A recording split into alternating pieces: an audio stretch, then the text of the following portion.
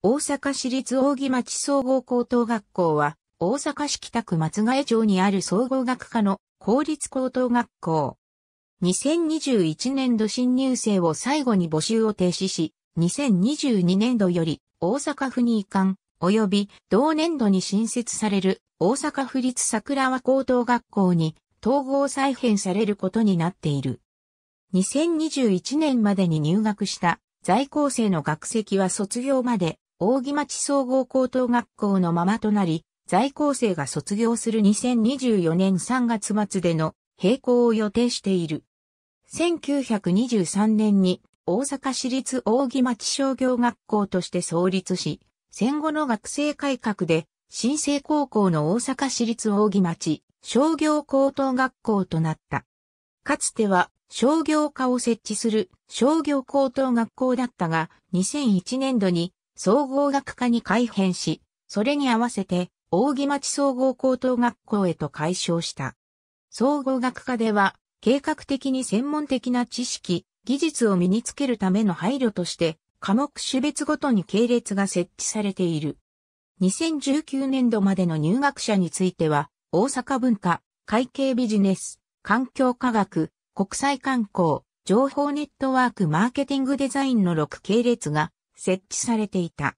2020年度入学者以降は、大阪文化、環境科学、マーケティングデザイン、会計ビジネスの4系列に再編された。1年時に各系列についての説明を受けて、系列を選択し、2年時よりそれぞれ系列に分かれ、専門的科目を学ぶこととなる。原則的に1年時に決定した系列は変更できない。総合学科の系列については、以下のようなものが設置されている。1922年3月に開校認可を受け、1923年4月10日に大阪市立扇町商業学校として大阪市北区西扇町に開校した。太平洋戦争に伴う戦時体制に伴い、繰り上げ卒業や4年生への短縮、勤労動員などが行われた。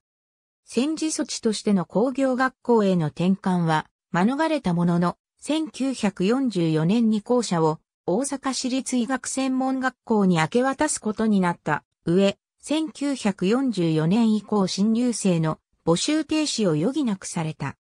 しばらく元の敷地で大阪市立医学専門学校と校舎を共有する形になったが、1945年6月に大阪市堀川国民学校に校舎を移転した。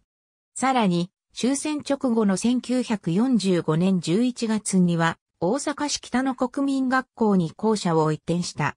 終戦後1946年度より新入生募集を再開した。同年には、戦災で校舎を消失した大阪市立、うつぼ商業学校を合併している。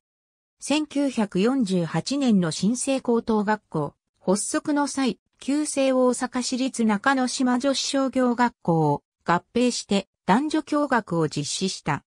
終戦直後に授業を行っていた北の国民学校校舎は1949年には大阪市立大学理工学部の校舎として使われることになった。このため1949年10月に旧松が枝国民学校跡の現在地に校舎を設置した。創立時から一貫して商業科として商業教育を実施していたが、2001年に総合学科に改編した。大阪市教育委員会は2010年代に入り、大阪市立の普通科系高等学校の再編方針を打ち出した。背景には少子化の進行による生徒数の減少や大阪府教育委員会と大阪市教育委員会が連携して2013年11月に打ち出した2018年度までに府立、大阪市立合わせて7校程度の公立高校の募集停止、統廃合を検討する方針があった。大阪市高等学校教育審議会は2017年1月23日、本市普通科系高等学校のあり方について、を大阪市教育委員会に提出した。答申では、私立普通科系高等学校7校を設置学科の特徴によってスポーツ体育系、理数系、言語系、実業系及び総合学科の3グループに分類し、言語系、実業系及び総合学科の同一グループに分類された大阪市立南高等学校、大阪市立西高等学校及び大阪市立扇町総合高等学校について、英語力や ICT 活用力、私立としての強みを活かした広大連携などを行う新たな普通科系高等学校としての検討を提言した。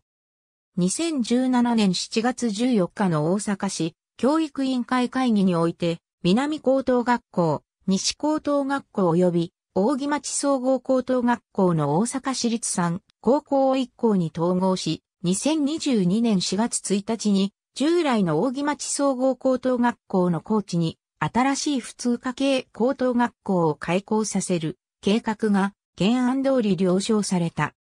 統合方針に伴い、統合元の3校についても2020年度2021年度の学科構成及び入学者選抜の再編成が行われ、2018年10月2日の大阪市教育委員会会議で基本方針が承認された。扇町総合高校については、従来の総合学科1学年後学級編成から2020年度及び2021年度入学生については1学年2学級編成に牽引され、また総合学科の系列も従来の6系列から4系列に再編された。2021年度を最後に新入生の募集が停止された。統合進行の名称は2020年5月に桜和高等学校に決定した。2020年5月26日に大阪市会で統廃合関連の条例案が可決されたことにより、2022年4月1日付での桜和高等学校の設置と統合が条例上も正式に決定した。また、大阪市と大阪府の方針により、大阪市立の高校全校を大阪府に移管する方針が具体化した。大阪市と大阪府は2019年7月にプロジェクトチームを設置し、2019年9月までに私立高校の府立移管方針を基本合意した。その後具体的な折衝が行われ、大阪府教育委員会は2020年8月31日の教育委員会会議で私立高校の府立移管、府立としての受け入れ方針を承認した。2020年12月に大阪市会及び大阪府議会で遺憾に関連する条例が可決、成立した。これに伴い、大阪市立の高等学校は2022年度より大阪府に移管されることになった。2022年度に開校予定の桜和高等学校は、府立高校として開校する。また2022年4月時点での在校生については、府立へと移管された上で、西高等学校、南高等学校、桜和高等学校の生徒と同じ校舎で授業を受けることになる。